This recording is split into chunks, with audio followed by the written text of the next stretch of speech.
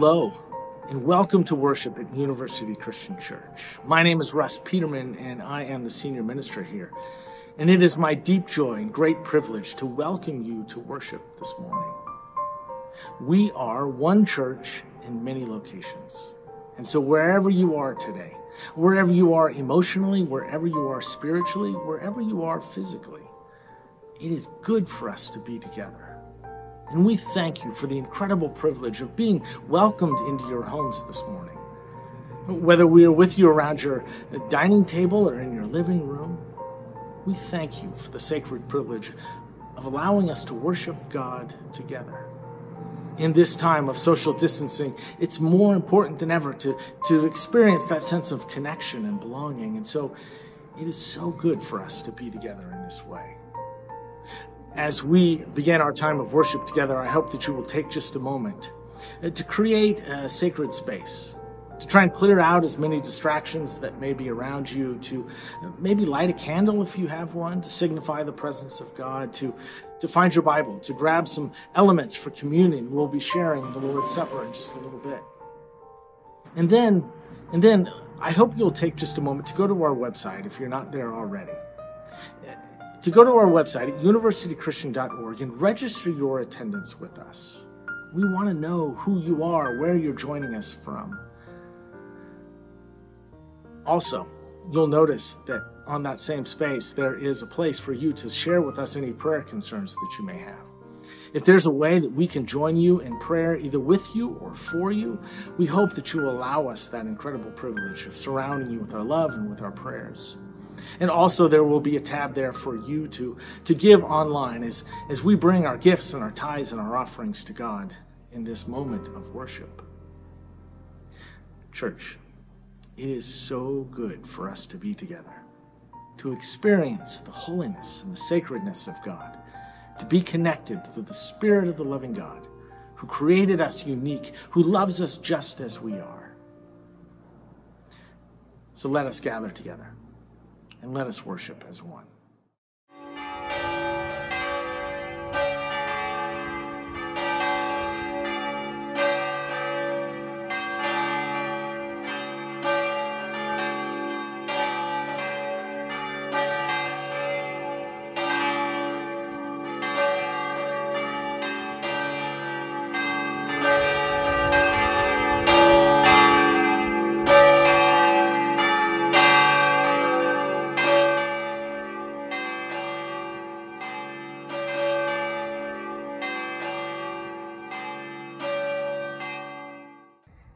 Join me in a responsive call to worship this morning. Adults and youth, you will see your parts printed on the screen. Children, when you see a star, your part is We are God's people.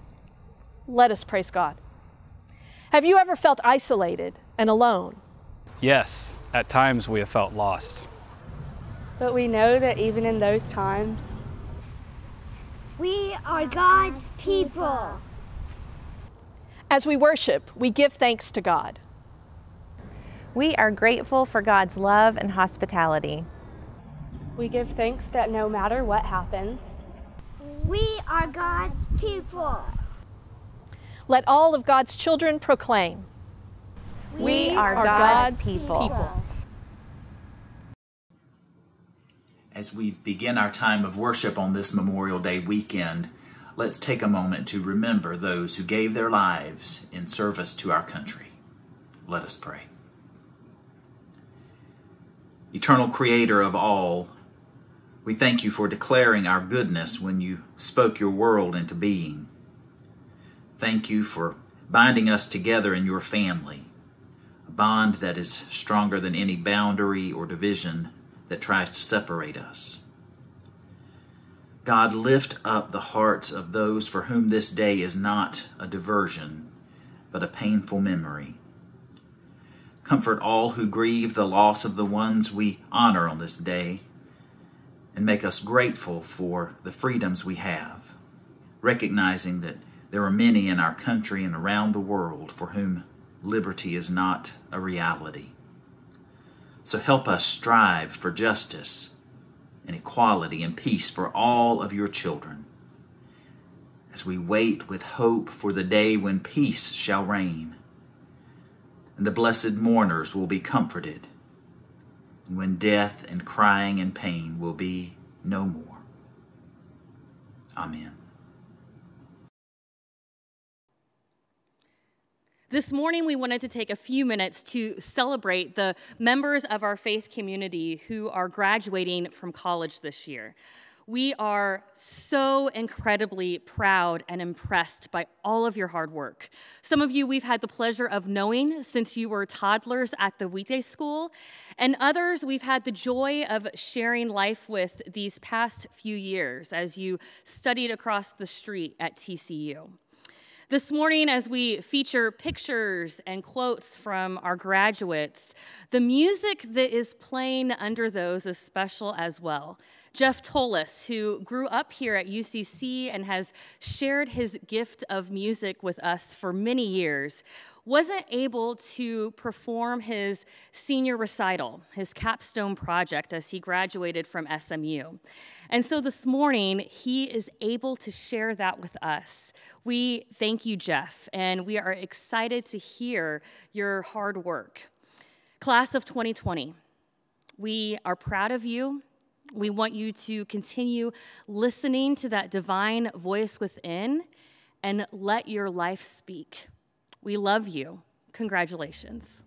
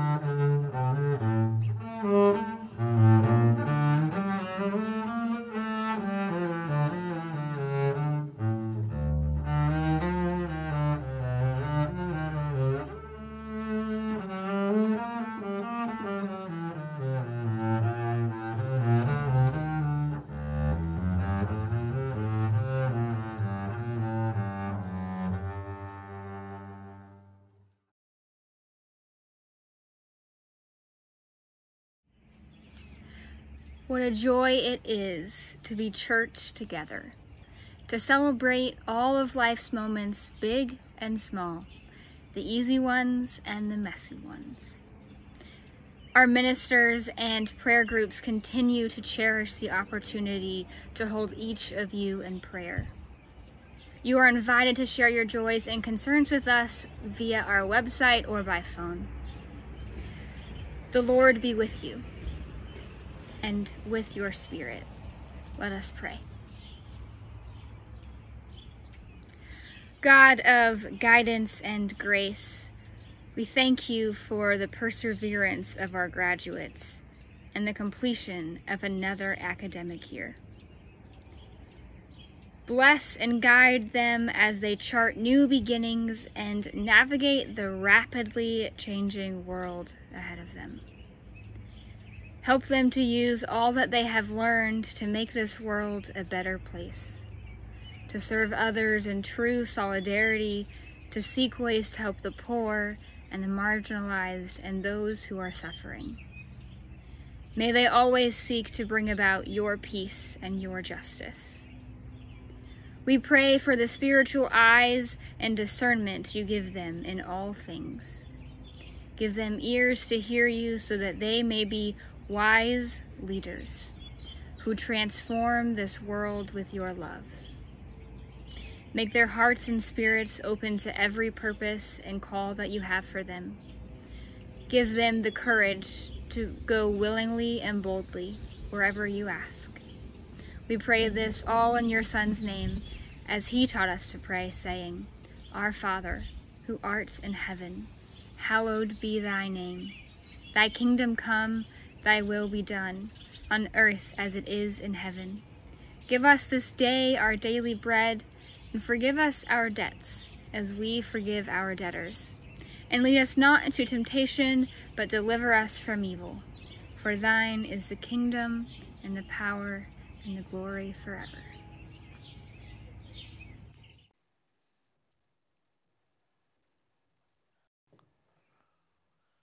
We are in the middle of a series that we're calling Now What? Talking about what it means to live as resurrection people in a hurting world. We're in the season of Easter. Easter is more than just a day, and we're looking at what resurrection means. What, what is the meaning of Easter? Not what happened, but what does it mean here, today? Not after we die and we all go to heaven, but what does it mean in the way that we make decisions and relate to one another, the way that we live our lives.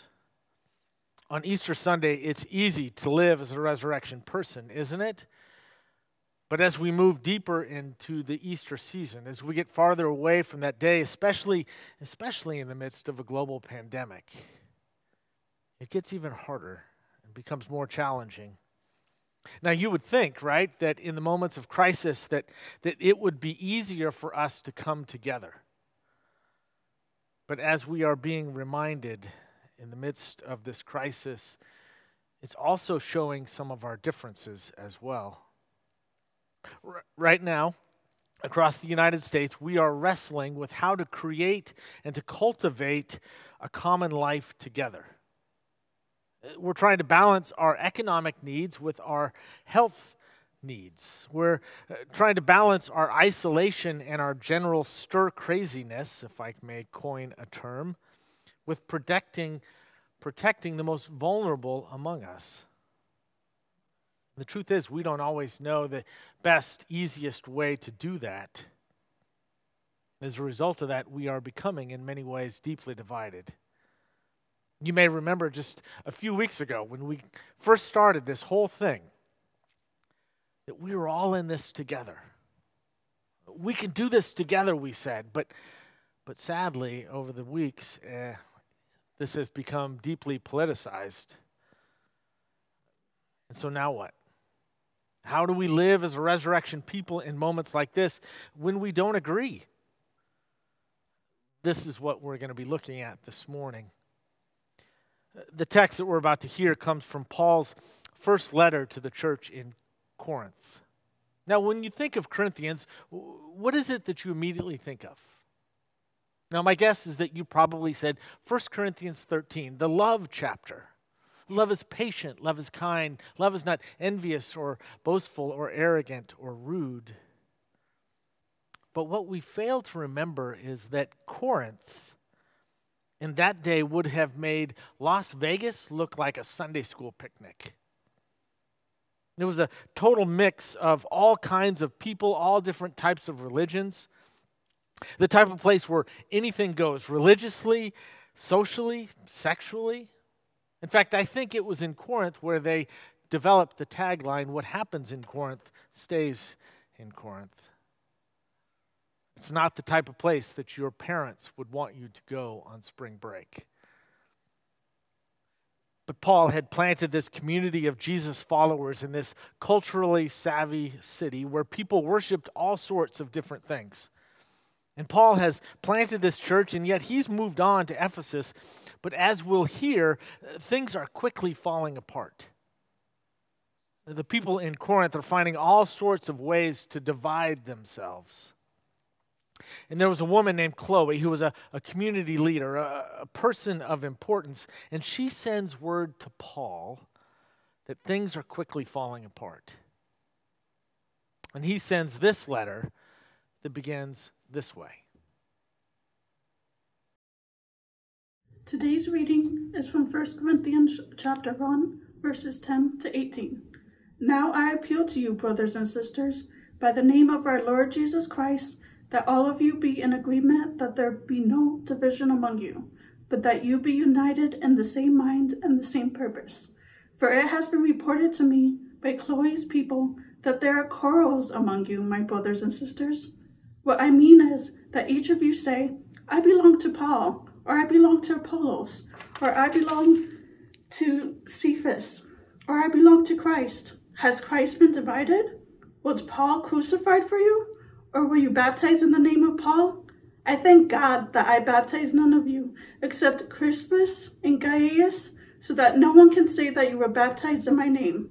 I did baptize also the household of Stephanas, Beyond that, I do not know whether I baptized anyone else.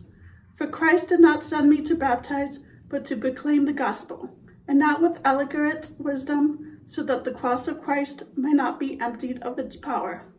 For the message about the cross is foolishness to those who are perishing, but to us who are being saved, it is the power of God.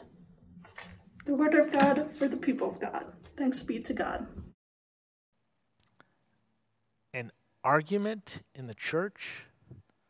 Good Christian people disagreeing with one another? Thank God that doesn't happen anymore. then again, it doesn't happen any less either, does it, now that I think about it? I heard a story not too long ago about a, a man who lived in the Appalachian Mountains during the Great Depression. And he traveled at one point to do some business in the great city of Knoxville, Tennessee. And while he was there, he encountered a refrigerator that made ice. Now, this was uh, in summertime, and they were in the middle of this incredible heat wave, and he believed that this had to have been a miracle of God. That a machine could make ice, that, that people could have ice in their drinks in the middle of this incredibly hot time when he returned to his hometown, he went to his church's midweek revival service. And there was a time in that service that people could give their testimony. And he stood up and he testified about the miracle that he witnessed a machine that could make ice in the summer. Now, right there in that revival meeting, a dispute broke out, and uh, some people chimed in that there was no way that, that there could be such a thing. And, and other people believed him and believed that this miracle machine could really make ice. Well, over the next several weeks, it escalated, and eventually, eventually, it resulted in a church split, with some people leaving the church and starting another church down the street. And in that community, in that city, they were known as the No Ice Baptists and the Ice Baptists. It's amazing, isn't it, the things that we will find to argue about? Uh, it's so hard for us to agree on just about anything. And not just the major things either, but the, but the small things too. We are so challenged by this idea of, of getting along with one another, of being considerate with one another, of cultivating this common life that we share together. I'm always amused when I hear Christian people pine for the good old days of the early church. The time when, when, when the church was more peaceful, more pure, more unified. But the Bible, of course, tells us otherwise. And that's good news, too, because, because we have countless examples of how to achieve unity amidst diversity. In this church in Corinth, it was new and it was still trying to find its way. And with this strange mix of values and norms, it was starting to wander off and incorporate other religious traditions as well. Uh, the church was constantly, apparently, getting in in disagreements. In fact, if you read through the entire book, the entire letter, Paul seems to be constantly pulling people apart, breaking up fights, settling disagreements and arguments. But here in the beginning of the letter, Paul is trying to set the tone, appealing to them to, to not let those disagreements divide them and tear them apart, that they should try to get along, that there should be no divisions among them, Paul says. Now, when I hear that, I have to ask is that even possible? Some say no. Uh, because churches, Churches are made up of people, and people love to disagree. I had a friend in California who was a colleague, and she used to always ask the question Is it more important to be right or in relationship? Now, most of us would say from time to time that, well, if we're honest, more often than not, we'd rather be right even at the sake of the relationship. But do you know what the word religion means? It's a good word that means to bind together that which has been torn apart. To bind together that which has been torn apart. But instead, far too many, it has come to mean majoring in the minors being unable to see the forest for the trees, uh, winning the battle but losing the war, making a mountain out of a molehill. Everyone is capable of such nonsense, I believe. But it seems that religious people, we're just really good at it. Adam Hamilton wrote a book a number of years ago called Seeing Gray in a World of Black and White. And he said, he said, our desire for certainty, our need to be right, our tendency to miss the point have conspired to cause endless divisions in the Christian life. Our tendency to label others that we don't disagree with, to separate ourselves between us and them to demonize anyone who disagrees with us. All of this leads to, to black and white, either or thinking. Leads people to think that, that I'm right, you're wrong, that I'm faithful and you're unfaithful, that, that I'm whole and you are somehow wounded or broken, that we have it figured out and you not so much. Hamilton says that that sort of thinking is killing the church. I'll take it another step further. I think it's destroying our nation. In 1858, Abraham Lincoln looked out on a nation that was split in half. And he mused with Jesus' words and said, A house divided against itself cannot stand. The Civil War would come two years later. And our nation, in many ways, is still recovering from that. And today, we are divided again. More polarized, perhaps, than we've been since that Civil War. United we stand, but divided we fall. Now, let me be clear that when we talk about unity, that does not necessarily mean uniformity.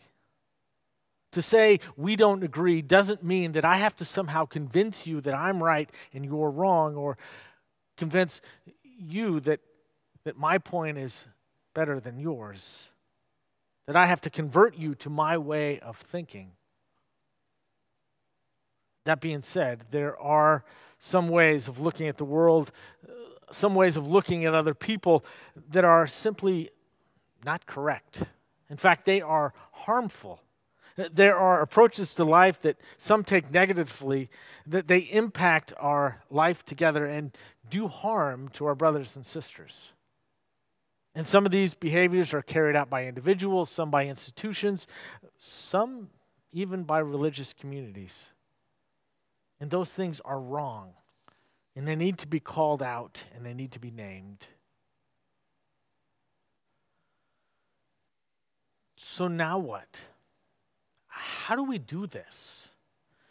When we are so deeply divided, when we can't get along, when we see things so differently, how do we do this? Just like in the city of Corinth, we, we all have our competing affiliations. We pledge our lives to different things, things that, that define us, that lead us to value others in different ways look at the bumper stickers or the magnets that people place on their cars, uh, the flags that they hang from their porches, the yard signs that they put in the ground. All of those things, all of those things are symbols of our affiliations. But what Paul is asking the members of the church in Corinth, what Paul is asking us, is to whom do you belong? To whom do you belong? You see, I think that to live as resurrection is to see that our old ways of defining one another, of valuing one another, all that's changed. That the old life has passed away, that, that, that now we have a new life, a new way of seeing the world. Paul is saying that that all of those other affiliations, they now take a back seat to our affiliation to God through Jesus. That we belong to God, that we all belong to God. That that is our singular affiliation. I came across a fascinating story last week about a hotel in Jerusalem uh, that was leased by the government to house people recovering from COVID 19. There were about 200 patients from all different top walks of life, all recovering from the virus. Uh, some, some of them fresh out of the hospital. Now they were forced to live together in this hotel until they are no longer contagious. The patients themselves nicknamed this place Hotel Corona. And because they had already had the virus, uh, unlike the outside world on this strict lockdown, they could give each other high fives. They could hug each other. They could hang out together. Do you remember what that was like? Now, remember that this is Jerusalem, this is the Middle East. So you have Israelis and Palestinians, you have Jews and Arabs, you have religious people and secular people, you have Jews and Christians and Muslims. You have groups that normally in that part of the world don't mix together. And they were getting along, they were having fun, they were eating together, sharing jokes, they were doing Zumba. And because they were documenting themselves on social media, it was like the whole world was tuning in to watch this real life reality TV show. And the surprising part in this drama was the lack of drama. Yeah, there were some disagreements, there were some differences, but over time, relatively quickly, they all became friends one of the women interviewed for the story said that they had found something unique in that hotel. that they were all in this together, that they had more in common than those things that divided them and made them different, that, that they came to realize that, that the well being of one was closely tied to the well being of another, that what benefited one benefited all. I once heard a reality show producer interviewed and he confessed how hard it is to get people to fight, to disagree, and to argue just enough to keep the reality show entertaining. That you have to get the right cast of characters, that you have to, uh, to stoke the conflict, because he said, people as individuals are frustratingly good at getting along. You see, if we belong to God, and realize that everyone else does too? That all of our secondary alliances and allegiances just slip away. That's what Paul wanted the people in Corinth to know and to understand. And so maybe it begins with us getting past our own stubborn purpose, our commitment to our own views, to worry less about being right and more about being in relationship, to trust less in our opinion and more in our faith. To whom do you belong?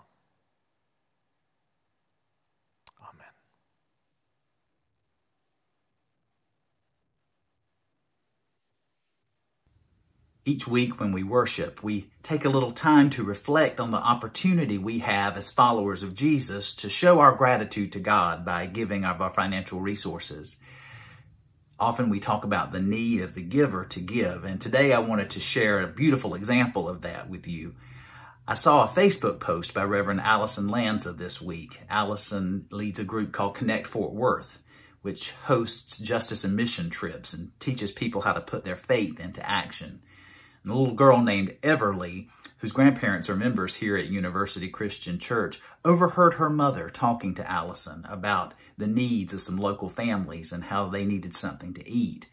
And so she decided to do something about it. Listen to this.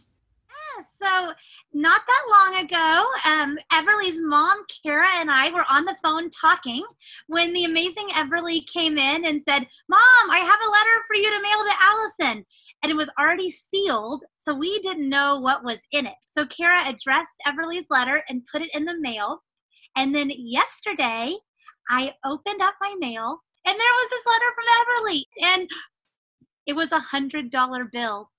I was shocked.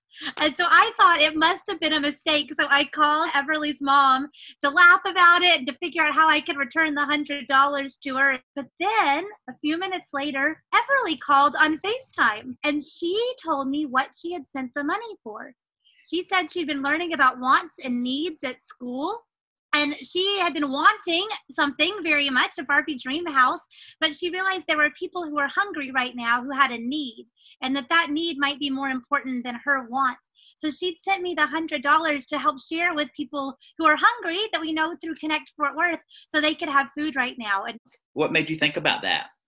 Oh um well i knew um people needed money to buy food and I sent it to Alan, Allison to spend for people for food.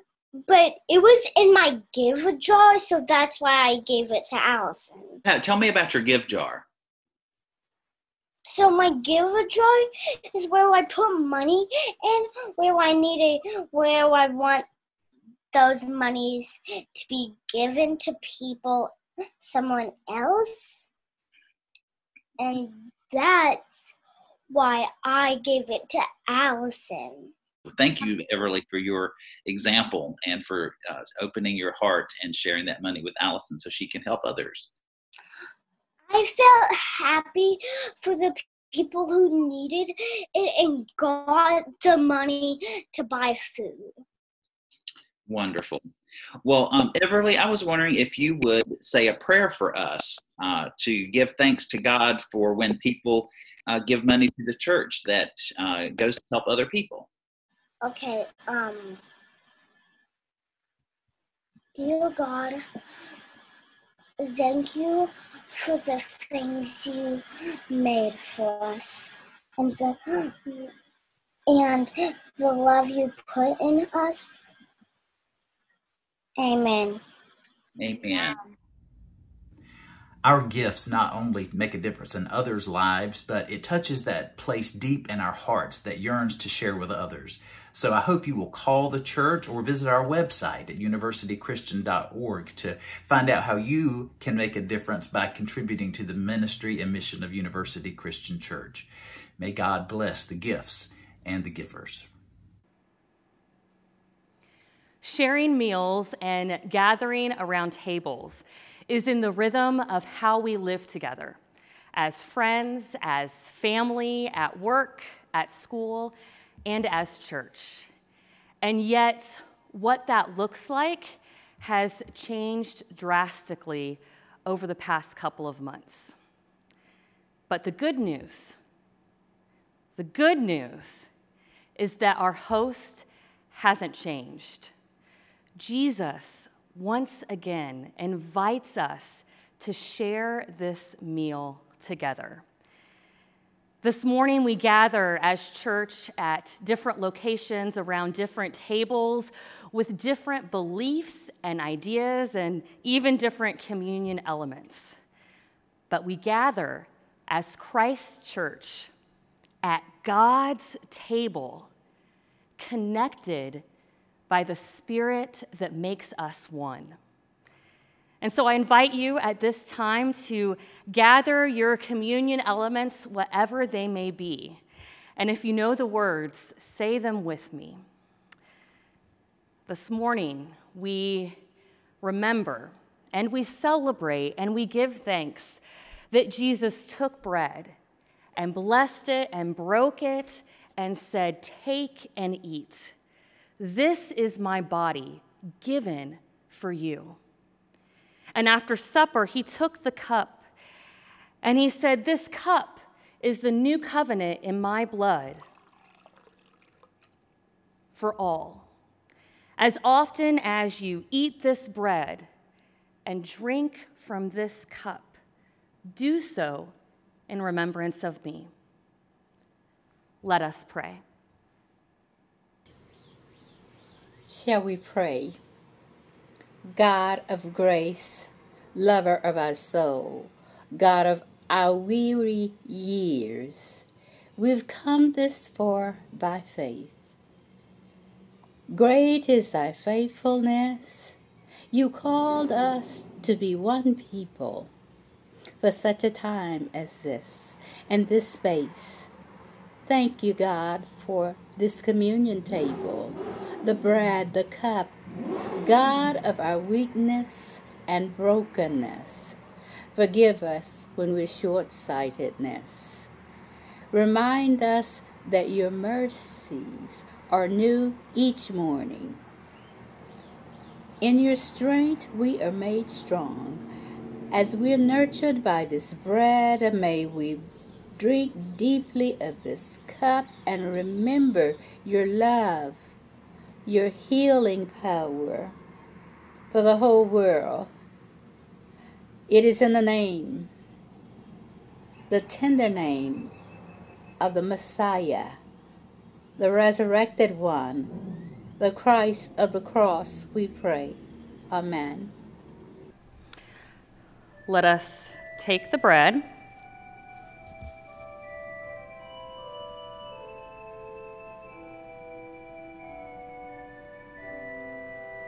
And let us drink from the cup.